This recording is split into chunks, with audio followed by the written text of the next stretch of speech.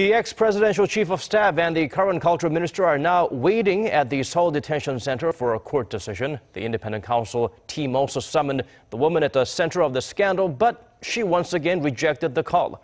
Hwang Ho-jun starts us off. A Seoul court heard arguments on Friday over whether to arrest former presidential chief of staff Kim Ki-choon and or current culture minister Cho Yoon-sun.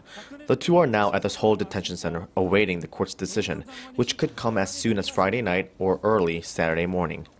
Kim Ki-choon and Cho Yoon-sun both face two charges, abuse of authority and perjury.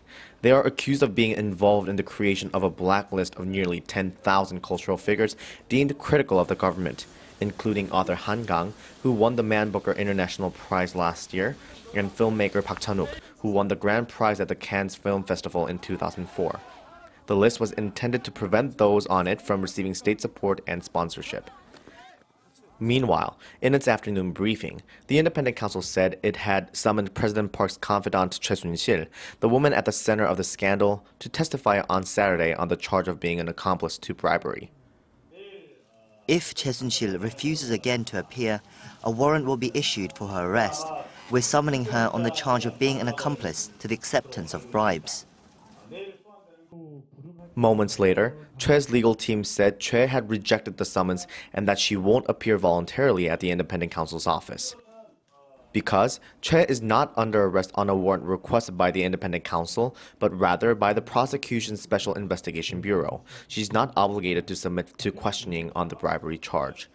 She has continually refused to appear before the counsel since Christmas Eve, the first and only time she complied with a summons. She cited health reasons, psychological trauma, and insufficient time to prepare for her own trial, leaving the counsel little choice but to get their own warrant if they want to question her.